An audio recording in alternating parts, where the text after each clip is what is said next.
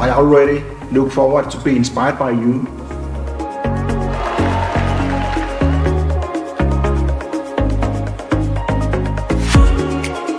See, we're the hope for the future because we are the future.